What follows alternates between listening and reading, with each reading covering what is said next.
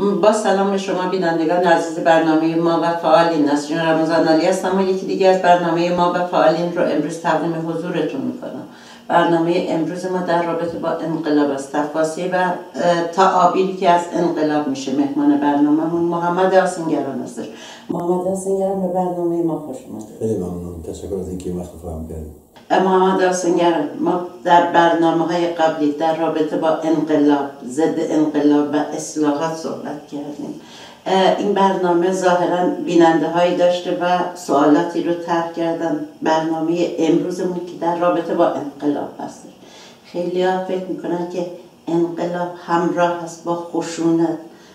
شما چطور انقلاب رو تعریف می‌کنید واقعا انقلاب خشونت از طرف مردم به حکومت حکومت به مردم. بحث خشونت پیش میاد. باید اولین سوال همین باشه که شما مطرح کی خشونت رو اعمال می‌کنه مردم که وسیله برای اعمال خشونت ندارن قدرتی ندارن تو حاکمیت نیستن. مردم حتی نمی‌دونن که انقلاب شروع میشه. هیچ حزبی هم نمی‌دونه کی انقلاب شروع میشه.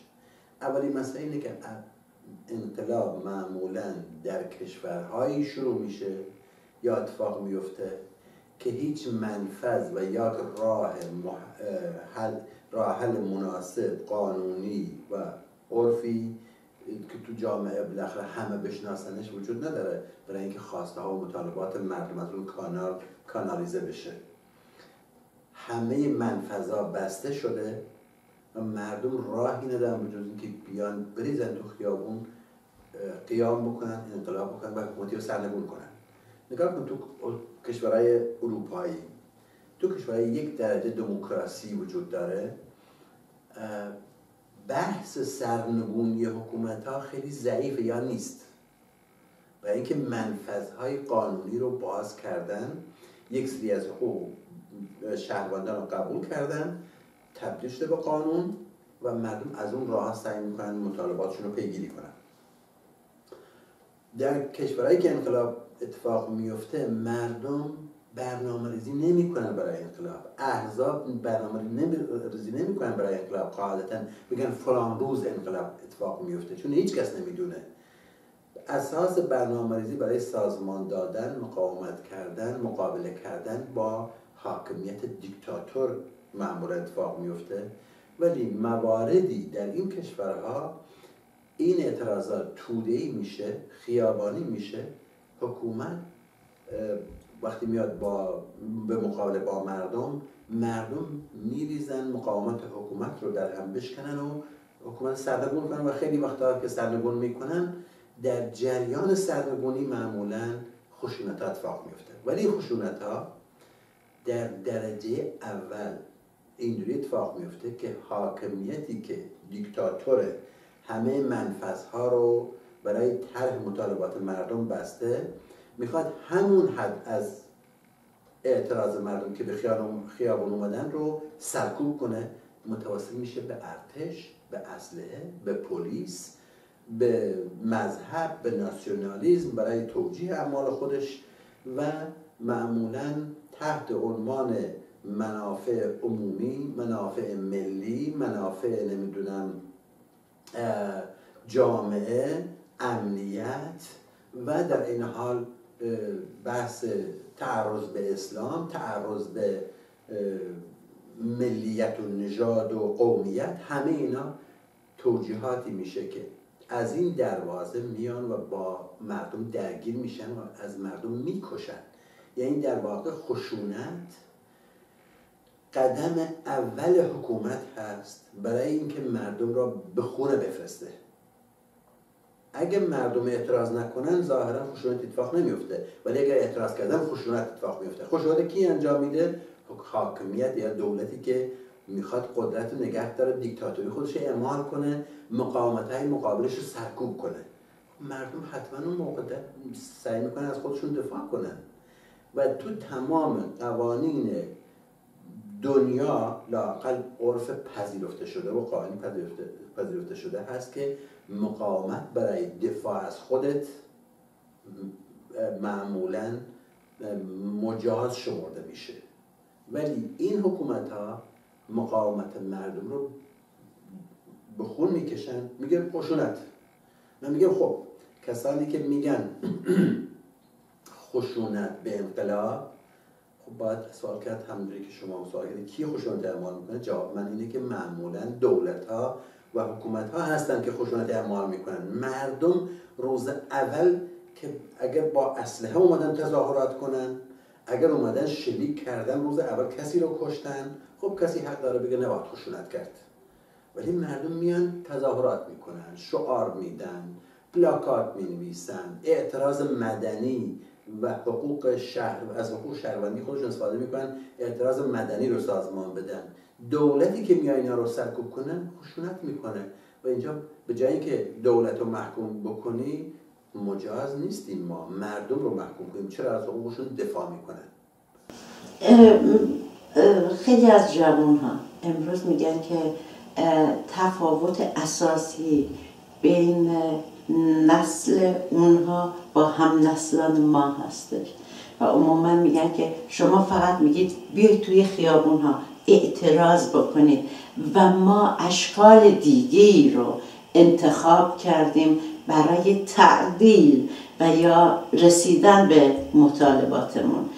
از جمله استفاده از شبکه های اجتماعی و مبارزات مدنی که این به خشونت کشیده نمیشه این مبارزات مدنی. مثل دفاع از محیط زیست مثل دفاع از حیوانات مثل چیزایی که مدنیت یک جامعه رو تعمین می‌کنه. البته من این, این نکته هم بگم. اونجایی که به طبقه کارگر جنبش زنان جنبش دانشجویی می‌رسه و میاد خیابون سرکوب میشه. ولی آیا واقعا دفاع از محیط زیست می‌تونه منجر به یه تغییر اساسی توی یه حکومت دیکتاتوری هار اوریان اسلامی مثل ایران بشه. ببین واقعیت اینه تمام این نمونه‌هایی که اسم بردی به اضافه ده نمونه دیگه ای که فعالیت اجتماعی فعالیت مدنی خود سازمان یابی و تشکل درست کردن آگاهی دادن به مردم در مورد محیط زیست در مورد حفظ محیط زیست پاکیزگی پاکیزه کردن محیط زیست در مورد درختکاری نمی‌دونم در مورد هر موضوع دیگه ای که الان سر معتادان بچه های خیابونی زنان تنفروش و و و مجموعه هزاران تم هست اون جامعه. اینا همش قابل دفاع همش باید انجام داد. خیلی خوبه. این فعالی دستشون در نکنه. باید اینا رو تقویت کرد. ولی یک واقعیت وجود داره. من میگم تو همین ایران خودمون تو جمهوری اسلامی تحت حاکمیت جمهوری اسلامی مردم سال 88 مگه چی می‌خواستن؟ می‌گفتن تقلب کردین رأی ما رو به حساب نیاوردین. روز اول اینو گفتن دیگه. یا لاقل از اینجا شروع شد. حالا بعدا چی شد؟ یه بحث دیگه است. جمهوری اسلامی چی کرد؟ اومد گفت اینا خس و خاشاک. اومد گفت اینا ضد انقلاب اومد اینا رو به رگبار بست. اومد بالاخره تعدادی رو کشت. تعدادی بر زندان تجاوز کرد. بالاخره همه می‌دونن که مردم مسلح نبودن که تیراندازی کنن اونجا. مردم نبودن که تعرض کردن. نیروهای انتظامی نیروهای دولتی سپاه بسیج و نیروهای مسلح بقیه نیروهای مسلح دیگه جمهوری اسلامی تعرض کردن مردم مردم تو بهترین حالت از خودشون دفاع می‌کردن.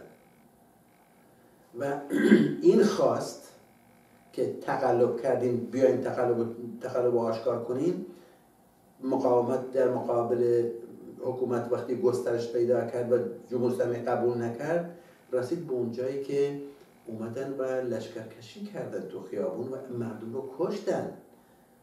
تجاوز کردن کهریزک درست کردن. مردم چیکار کردن؟ به جز اینکه خواستهاشون رو مطرح کردن.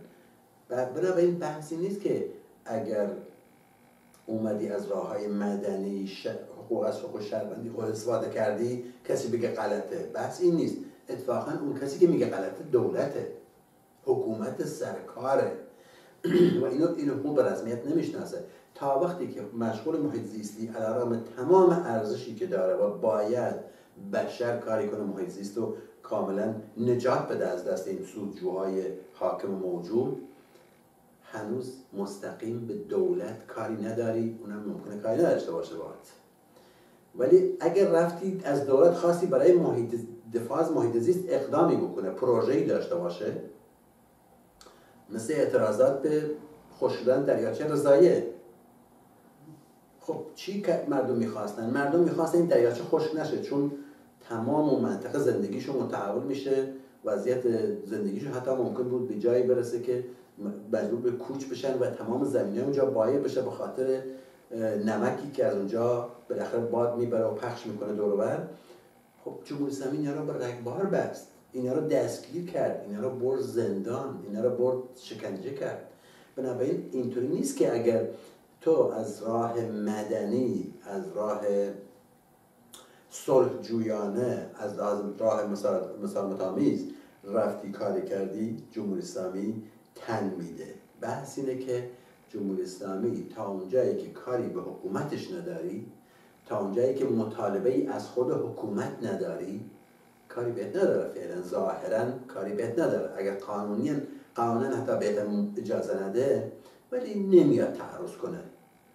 ولی اونجایی که برای همون امر محیط زیست برای همون برای همون حق ابتدایی شمردن رعیا میگن بیاین به حرف ما گوش کنین جوابشون گلوله میشه.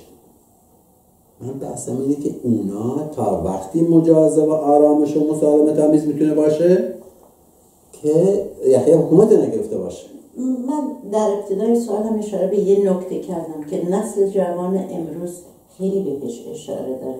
اونم اون اختلاف نسلی و شیوه و اشکال. من دوست دارم رو این نکته اگه میشه بیشتر توضیح بده ببینید اختلاف واقعی هم اختلاف فرهنگی هم اختلاف نسلی کامل هم اختلاف واقعا حتی آگاهیه. یعنی عمیقا نسلهای مختلف با هم متفاوتن. همچنان که ما با نسل پدرمون متفاوت بودیم. و اصلا این روند طبیعی ترین رونده. نسل در نسل نسل جوان همیشه با اطلاعات بیشتر آگاهی بیشتر توقعات بیشتر و امکانات بیشتر از نسل قبلی زندگی می‌کنه و به میدان میاد. ببین ترکیب جمعیتی ایران در مقطع انقلاب ایران دانشگاه رفته هاشو نگاه کنی و درصد اونایی که تحصیل کرده بودن با درصدی که الان مردم تحصیل کردن آسمون تا متفاوته. فرهنگ غربی این که ممنوع الان 36 700 دوران جمهوری اسلامی فرهنگ غربی موزیک نمی‌دونم رقص آرایش همه اینا ممنوعه. علی‌رغم این که حجاب اجباریه. علی‌رغم این که می‌دونی ویدیو اج... ممنوع بود ویدیو داشتن. نمی‌دونم ماهواره داشتن هنوز ممنوع قانوناً. حتی دستگاه فکس و پلوکوپی و غیر و غیره ممنوع بود دوره تو جمهوری اسلامی. الان همه اینا اینقدر عادی شده. انگار مثلا جزو قوانین جمهوری اسلامیه. نه عزیز من همه اینا رو مردم تحمیل کردن. می‌دونم اینا رو میشه تحمیل کرد. اینا رو تا اونجا میپذیره جمهوری اسلامی در مقابلش. اول میاد کتک می‌زنه دستگیر می‌کنه شکنجه می‌کنه حتی تعدادی رو می‌کشه. ولی ناچارن وقتی ابعاد گنده شد وقتی توده شد یه حرکت دیگه مثل ماهواره ها ممنوعه. میرن بالای خونه مردم از دیوار میرن بالا. ماهواره میشکنن. 100 تا رو جمع می‌کنن 200 تا رو 1000 تا رو 5000 تا رو جمع می‌کنن. فردا دو برابرش دوباره رفتن نصب کردن. وقتی این مقاومت توده ای شد دیگه جمهوری اسلامی کوتاه میاد. همچنان که در مقابل بحث آزادی ویدیو کوتاه آمد همچنان که در مقابل آرایش مجبور شد کوتاه آمد همچنان که روسری الان رفته عقب تا اینجا کوتاه آمده همچنان که حتی در مورد مسئله سنگسار که یک امر خشونت آمیزترین عمل زشت قصاص و اسلامی هست. به خاطر یک رابطه خارج از ازدواج یک آدم رو می‌خوان بکشن و کشتن خیلی رو کشتن. الان جمهوری اسلامی دیگه حتی جرأت نمی‌کنه این کار رو انجام بده. قانونش وجود داره ممنوع نیست. از قانون برش نداشتن ولی اجرا نمی‌کنن. چرا؟ برای اینکه یکی از این آخوندا گفته بود. گفته بود اگر قاضی خودش بود اگر ما بخوایم این قانون همش رو اجرا کنیم واقعا باید تو هر محله و هر کوچه و خیابونی و تو هر روستایی تعداد وسیع رو سنگسار کنیم. چون تعداد خیلی زیادی دیگه این قوانین ما رعایت نمی‌کنن. چرا؟ چون اونجا زن به زور هنوز شوهر هستن شوهرشون میدن. هنوز هستن اصلا از حقوق حقوقی برای زن قائل نیستن. هستن که اصلا حق طلاق و برسمیت براش نمی‌شناسن. از قانونا اینا وجود داره ولی جامعه اینو راحت نمی‌کنه تا هنوز تشرای جامعه اینجور این کارا می‌کنن که این حقوق و رسمیت می‌شناسن خود خب طرف مجبور میشه زیر یک سقف با یک مرد بمونه. دوستش هم نداره امکان زندگی هم نداره امکان انتخاب هم نداره. ناچار میشه تن بده به یه رابط دیگه که لذت بر از زندگیش. و این باید با سنگسر جواب می‌گرفت. جمهوری اسلامی نمی‌تونه انجام بده بخاطر اینکه این فرهنگ و قانون جمهوری اسلامی شکست خورده. مجبور الان چشم بپوشه. واقعا جوان ها یه بخش از صحبت هاشون اینه که انقلاب به معنای خون خونریزیه. و معلوم نیست اون انقلاب پیروز میشه به رهای انسان و اون جامعه. خواهد رسید یا اینکه موقعیت بدتری تعمین میشه. اما این پروسه مبارزه مبارزه مدنی باعث میشه که قوانین یعنی مرزها رو میشکنه و هر روز با حکومت در کشمکش و مبارزه هستش و به این شکل می‌تونه جمهوری اسلامی رو تغییر بده.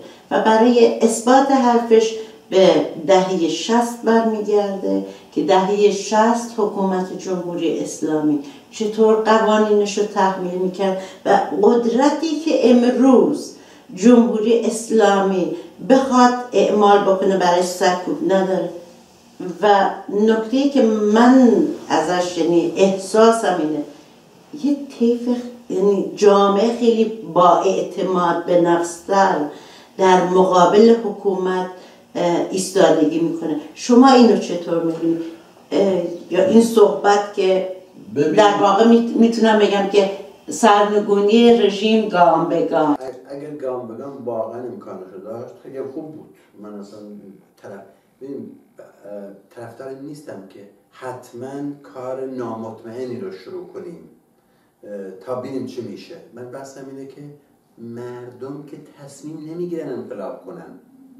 می‌دونی همین اعتراضات همین مبارزات که می‌خواد گام به گام پیش بره در دوران شاه مردم تجربه کردن دیگه. در دوران شاه شعار اولیه تظاهرات ها این بود که می‌گفتن قانون اساسی رو باید رعایت کرد. قانون اساسی همون حکومت. الانشون تعدادی هستن تو حکومت جمهوری میگن. بحث این بود شاه باید سلطنت کند نه حکومت. حکومت رو بدن دستش مجلس و کابینه و غیر ذالک همین حد از مطالبات رو شروع کردن مردم اومدن تو خیابون شاه قبول, قبول نکرد نپذیرفت از مردم با اسلحه در مقابلشون وایستاد انقلاب شد. اصلا مردم اینجوری نیست تصمیم بگن انقلاب کنن. کسانی که اینطوری فکر می‌کنن فکر ما وقتی ما میگیم ما طرفدار انقلابیم چون فکر می‌کنیم منطقا راه دیگه وجود نداره برای تحول اساسی. باید این حکومت رو سرنگون کرد. و این حکومت راه سرنگونی یا باید کودتا بکنیم که ما امکاناتشو نداریم مردم امکاناتشو ندارن. این امکانات کودتا بالاخره نیروی نظامی می‌خواد. یا باید بیای با قدرت توده‌ای در مقابل حکومت ظاهر بشی. وقتی با قدرت توده‌ای میای تو خیابون اسمش میشه برای تغییر حکومت اسمش میشه انقلاب. حالا مواردی هم هست که اینطوری نیست. با خشونت کشته بشه همش مگر ما ندیدیم تو تونس انقلاب شد حکومت سرنگون کردن. تو مصر انقلاب مردم حکومت سرنگون کردن. خونریزی هم اونجوری که این نوع توری ها میگن اتفاق نیفتاد. چون قدرت تودهی مردم یه جوری بود که مجالی بونند از از یک طرف از یک طرف پشتیبانان غربی این دوتا حکومت از پشت اون حکومت بن علی و مبارک کنار کشیدن. به ارتش گفتن خودش در مقابل مردم قرار نداد. این دیکتاتورها برن بالاخره می‌تونیم انقلاب مهار کنیم. خونریزی زیاد نشد به اون معنایی که تو جمهوری اسلامی شد تو دوران شاه شد. بنابراین پس میشه با قدرت توده حکومتی رو سرنگون کرد و خونروزی و خشونت هم به اون حد نکشه که میگن. می‌دونم این حکومت هم به اندازه کافی اومدن در مقابل مردم قرار گرفتن به علی و مبارک. ولی نتونستن منتها می‌تونست خیلی خونی تر باشه اونجوری که تو سوریه اتفاق افتاد. این انقلابات داشت یکی بعد از دیگری دیکتاتورهای منطقه رو سرنگون می‌کرد. هم حکومت مورد تعرض در سوریه و هم مخالفین حکومت و رقبای منطقهیشون به اضافه قدرت های جهانی سیاستشون این شد که این انقلاب رو باید سرنگون کنن. برای سرنگون چی؟ شکست بدن. برای شکست یک انقلاب باید به خونش بکشی. یک یا اینکه نه راه های دیگری بتونی به کار ببری که مردم بفرستی خونه. اینا راه دیگه نتونستن به کار بگیرن. مثل مثلا مثل ارتش رو بکشن کنار از جلو مردم پشت حکومت هم خالی کنن مردم بیان و مبارک بره یا بن علی بره تو سوریه نمی‌تونستن این کار بکنن. چون من قبلا گفتم سوریه جز اون کشورهای مستقل و غیر وابسته بود که خیلی از متاسفانه چپ و راست و خیلی از اونایی که خودشون آزادی خواه می‌دونستن طرفدار حکومت مستقل بودن. فکر می‌کردن مستقل یک مزیت عجیب غریبیه.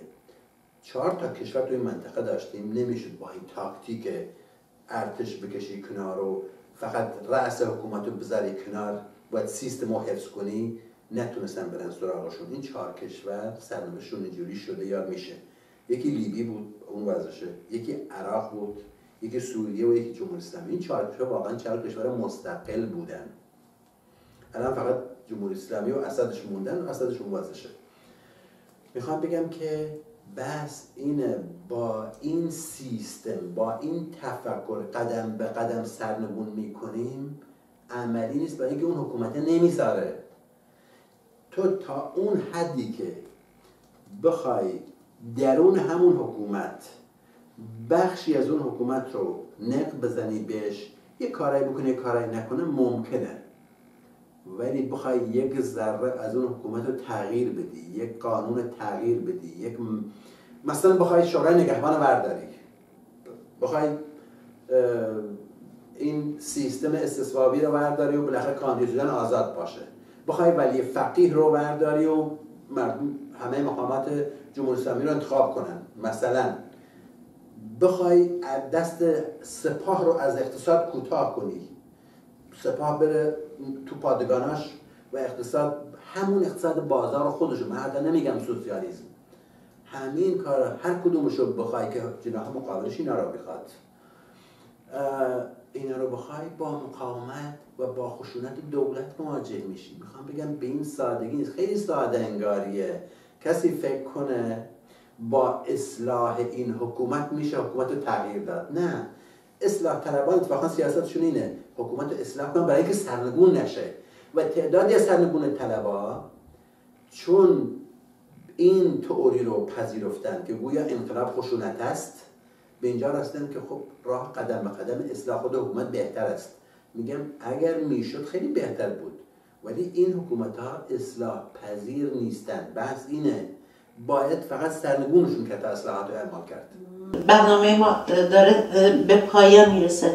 خیلی کوتاه دوست دارم. در ضرورت انقلاب و سازماندهی انقلابی خیلی کوتاه توضیح بدید. انقلابی رو از قبل نمیشه سازمان داد. این تو تاریخ بشر از اون موقعی که بحث انقلاب مطرح شده اومده تا الان اینطوریه. ولی یک ضرورت داشتن انقلاب ضرورت جامعه ضرورت یه بحث دیگه است. منظورم سازماندهیه. انقلاب رو از قبل نمیشه سازمان داد انقلاب ولی میشه سازمان داد تو دوران خود انقلاب. این یک. دو اینکه برای آمادگی برای این دوره باید از قبل تشکیلات داشت. حزب داشت. شبکه داشت. و اگر حتی تو دل انقلاب نتونی خیلی هم زیاد کار کنی بعد از انقلاب تازه می‌کنم برات فراهم میشه. نمونهش خیلی ساده است. در جریان انقلاب مصر اخوان مسلمین قدیمی ترین تشکیلات و ساز، سازمان یافته مصر زیاد دخیل نبودن. انقلاب شد. بعد از انقلاب تنها نیروی بودن که رأی آوردن. چرا؟ برای اینکه تشکیلاتشون رو داشتن شبکه رو داشتن سازمانشون رو داشتن تجربه داشتن. خود جمهوری اسلامی و خمینی بر پایه شبکه های مساجد و حسینی ها به قدرت رسید. خارج از کمک های دولت های غربی و غیر که بحث خارج از من مکانیزم دارون رو می‌خوام بگم. اگر حزب سازمان تشکیلات نداشته باشی ده ها انقلاب اتفاق بیفته از دست در میارن. یا شکستش میدن یا اگر حتی نتونن شکستش بدن بعد از انقلاب نیروی ضد انقلاب دیگری میارن سر کار. اون چیزی که الان تو مصر اتفاق افتاده تو تونس اتفاق افتاده و یا اونطوری که تو ایران شکستش دادن یا تو سوریه شکستش دادن. می‌خوام بگم نوع شکست دادن یک بحثه. نوع نتیجه بعد از انقلاب بحث دیگه است. بالاخره این انقلاب اتفاق افتاد. تو ایران انقلاب اتفاق افتاد. مردم حق داشتن انقلاب کنن. مردم از دست دیکتاتوری دیگه آسی شده بودن. ولی بعد از اینکه شاه را سرنگون کردن یک نیروی قدرت رو گرفت که قوی ترین سازمان و شبکه ها رو داشت. بیشترین نفوذ داشت. کمک غربم مستقیم و غیر مستقیم همراهش بود.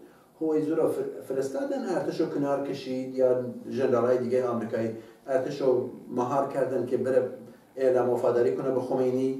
بالاخره این اتفاق افتاد که افتاد. در جاهای دیگه اینطوری بوده. تشکر می‌کنم از شما. محمد حسینگران که در برنامه ما و فعالین حضور داشتیم. برنامه امروز ما اینجا پایان خواهد پذیرفت. از شما می‌خوام که برای برنامه ما و فعالین پیشنهادات و سوالاتتون رو بفرستید. حتما در این برنامه به سوالات و پیشنهادات و نظرات شما پاسخ خواهیم داد. تا برنامه دیگر روز و شب خوشی رو براتون آرزو دارم.